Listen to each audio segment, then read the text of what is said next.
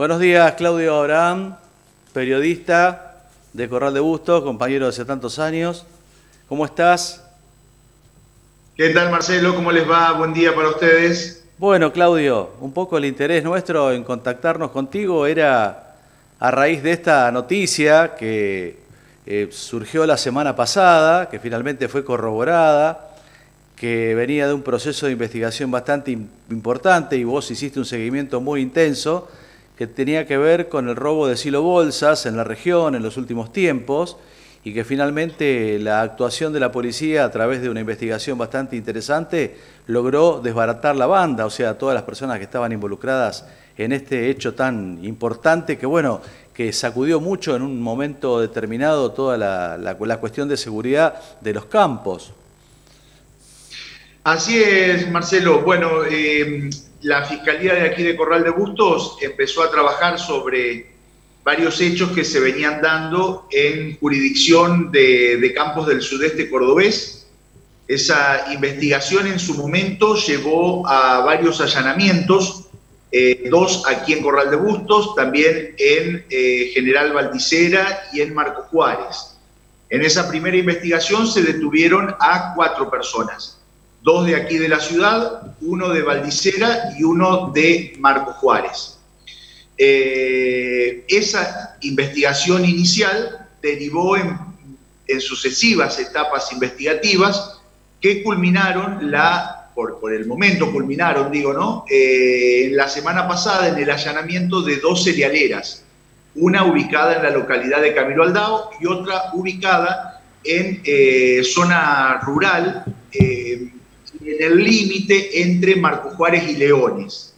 Eh, de esos allanamientos se secuestraron eh, elementos de prueba que tienen que ver fundamentalmente con documentación de las cerealeras y particularmente en la cerealera de la localidad de Camilo Aldao eh, se detuvo a una persona que es el encargado gerente de la firma que aparentemente, según lo que rezaba el parte policial en su momento, eh, había realizado algunas maniobras tratando de entorpecer la investigación que estaba llevando adelante la policía en ese momento. Aparentemente eh, realizó algunas maniobras eh, con la documentación que la policía estaba tratando de secuestrar.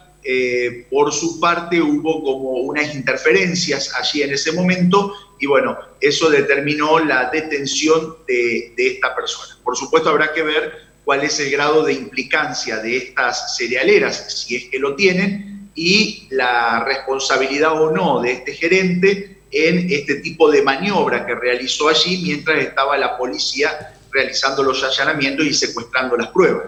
En definitiva, el proceso está en investigación todavía, ¿no es cierto? Sí, sí, el proceso está en investigación. Según la Fiscalía de aquí de Corral de Bustos, esa investigación continúa no se descarta que se puedan llevar adelante nuevos operativos, ya sean de allanamientos y en tal caso si eso deriva en la posibilidad o en el pedido de detención de alguna persona más. Eh, aquí en Corral de Bustos con los primeros allanamientos se detuvo a dos personas, también se secuestraron eh, vehículos, uno de ellos un camión que estaba cargado de cereal y también la detención de dos personas más, como te decía, de General Valdicera y de Marco Juárez, que serían los que estaban encargados de hacer la eh, operatoria de robo propiamente dicha en los campos a través de los silobolsas. La modalidad que, la Fiscalía está investigando tenía que ver con eh, una modalidad de este tipo. Eh, se llegaban con los camiones a los campos, se llevaban algunas personas que eh, son los que se conocen como balderos, es decir, se abrían los silobolsas y a balde se cargaban lo, el cereal de esos silobolsas en los, en los camiones. Eh, después esos camiones, la policía y la fiscalía está investigando qué pasaba con ese cereal, claro. porque para que la obra eh, tenga el fin último, que era el fin delictivo de robarlo para después venderlo, ese cereal tenía que ser metido en algún lado eh, de manera ilegal, ¿no? Para que se pueda comercializar y de ahí obtener las ganancias del robo. Bueno, eh, lo que se especula es eh, que los, el cereal robado era ingresado a alguna cerealera de modo ilegal o de, de, alguna maniobra, digamos, no, no blanqueada para poder comercializarlo. De ahí surge los allanamientos a estas cerealeras y bueno, de la documentación que allí se secuestró y de todos los elementos probatorios, se verá si finalmente la investigación tiene razón o no en la implicancia que tengan estas cerealeras. Por ahora, por el momento, no hay ningún avance en ese sentido desde el punto de vista periodístico, ¿no? Claro, claro, son todos, este, son todos procesos que está haciendo la justicia en ese sentido. ¿Se conoce el volumen de, la operatoria en cereal que se sustrajo en ese momento, en el momento? No, no, por ahora no, Marcelo, porque en realidad fueron todos eh, como robos hormigas, digamos, en diferentes campos, en diferentes momentos. No se habla solamente de, un solo robo, sino que eh, se fueron dando eh, situaciones parecidas en diferentes campos. Lo que también hay que, la investigación está tratando de, unir esos casos a ver si se tratan de la misma banda delictiva o no, pero eh, casualmente la modalidad era parecida y los robos se fueron dando en toda una misma zona geográfica que tenía que ver con este sudeste cordobés y también con unos campos eh, limítrofes en la provincia de Santa Fe. Eh, bueno, la investigación llevará a dilucidar si todo tenía que ver con la misma banda organizativa y de ahí especular ¿no? cuál, es la, cuál fue el volumen del robo, tanto en serial como también el volumen económico que eso significaba. Seguro, seguro. Bueno, bárbaro. Este, muy interesante porque trae un poco de luz a, una situación bastante eh, preocupante que se había generado en la región hace un tiempo atrás. En otros lugares hubo solamente vandalismo de romper los hilos bolsas y abrirlos. No se robó el cereal, pero no se sabe si no pudieron hacerlo o fue otra situación de acciones violentas que no tiene nada que ver con esto. Pero viene bien saber que la justicia ha podido tomar un punto, un hilo de este ovillo para desentrañar toda esta situación y bueno, y pararla, ¿no? Fundamentalmente en función de, las pérdidas económicas que significan para los productores que, están eh, permanentemente trabajando sobre el tema que, mejor saben hacer, ¿no? Y, esto era todo como una, cuestión que no tenía una respuesta y había mucha incertidumbre al respecto. Claudio, eh, se ha hablado mucho, te quiero preguntar otra cosa, se ha hablado mucho en estos días del tema de los protocolos en la provincia de Córdoba, ha habido mucha confusión de mucha gente que se ha ido un fin de semana, la han hecho volver, no, no la dejan entrar, en otro momento pudieron pasar hacia los centros turísticos. ¿Qué información tenés sobre la cuestión puntual de las salidas de, interprovinciales hacia la provincia de Córdoba? Bueno, viste cómo eh, en este sentido, Marcelo, eh, es, bastante incoherente todo, sí. para, decirlo. Exacto. Pero bueno, aquí en Córdoba lo que se ha permitido eh, hace una semana atrás, no este fin de semana solo, sino el anterior, fueron las visitas a la, a la ciudad, de, a la provincia de Córdoba, digamos, las visitas turísticas, como se las llamó, pero se suponía, o al menos así estaba habilitado, solo para personas que tenían domicilios eh, o residencias en zonas turísticas. Es decir, si vos tenías una propiedad en alguna parte de las sierras de Córdoba, estabas habilitado a ir eh, como propietario de ese lugar eh, a tu casa de las sierras. Era como una especie de turismo interno, pero limitado solo a las personas que tenían una residencia en las sierras de Córdoba, que podían ser habitantes mismos de Córdoba o gente de otras partes del país, pero que tenían una, eh, una propiedad en las sierras de Córdoba fundamentalmente.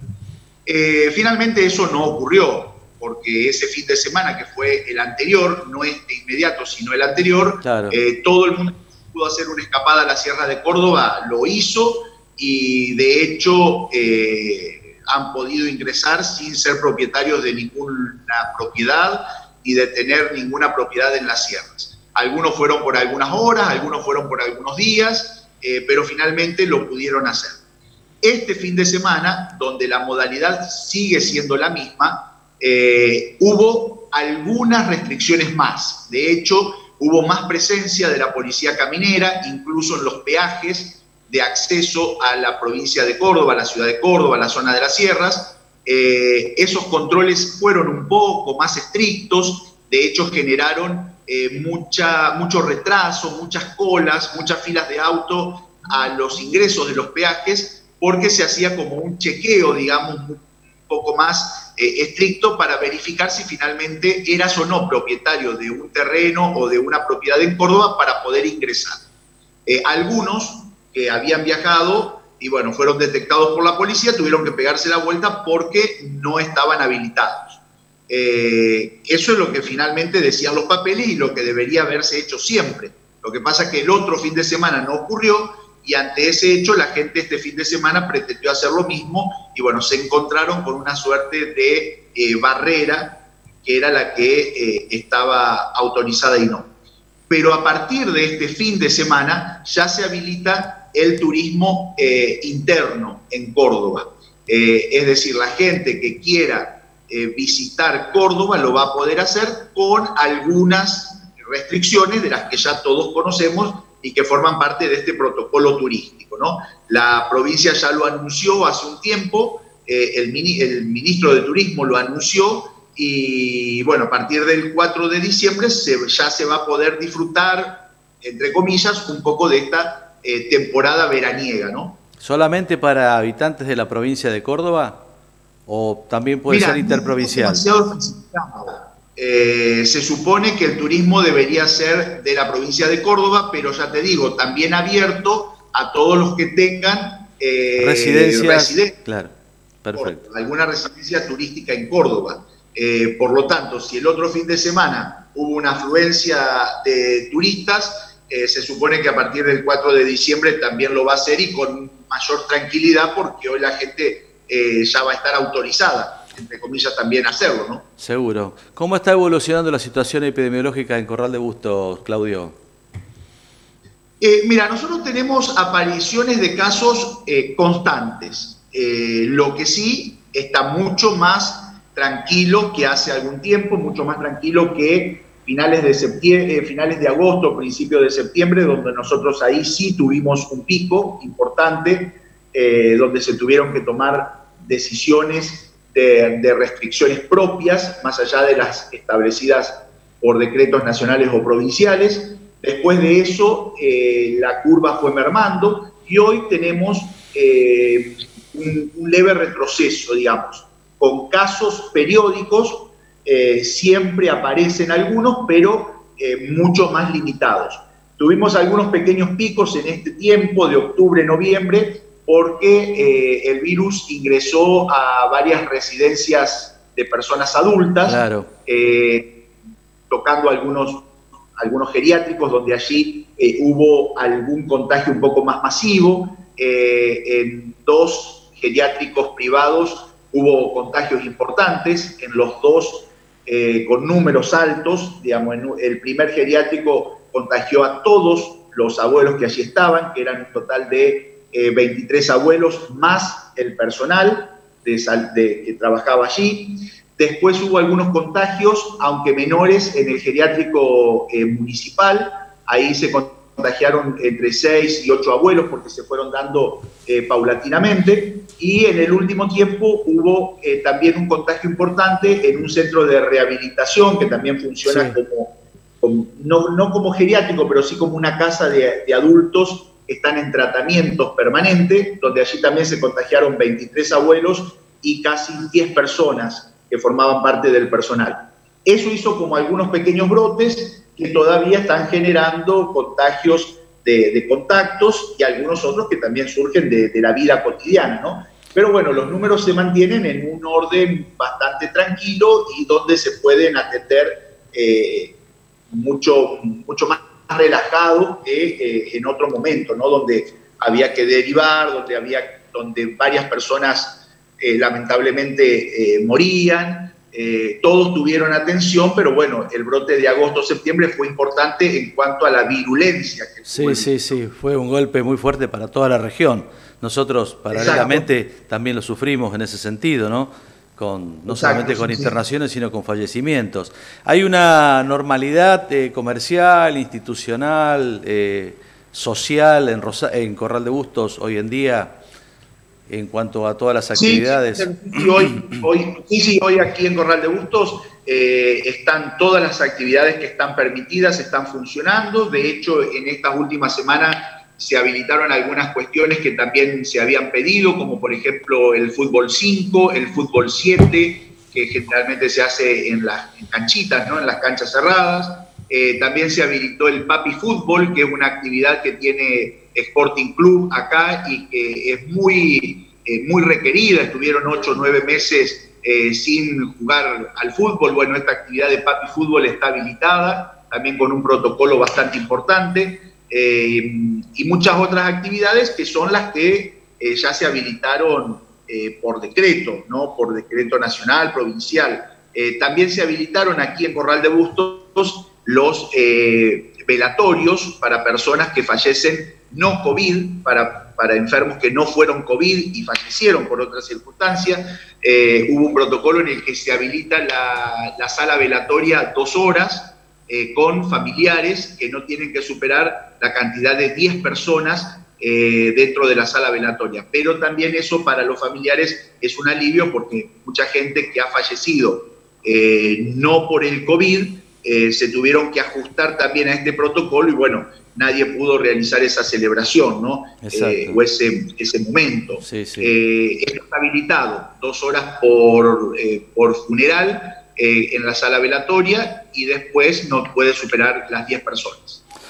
Claudio, te agradezco mucho el informe, bastante completo. Me interesaba el tema que, este, que, por el cual iniciamos la nota que tenía que ver con este procedimiento porque hice, hacía el seguimiento en el soberano y veía este, con qué rapidez actuó la justicia y bueno, también la posibilidad de estar en contacto contigo para eh, poder conocer algunos temas más que muchas veces eh, como son de la provincia de Córdoba, no le prestamos la suficiente atención, pero tiene mucho que ver por esa relación permanente que tenemos. Siempre se lo digo al intendente Pacheco cuando tenemos alguna comunicación, que tenemos temas comunes, cosas comunes que por ahí eh, no nos acordamos, que estamos tan cerca siempre, más allá del límite provincial. Te agradezco mucho la nota, Claudio.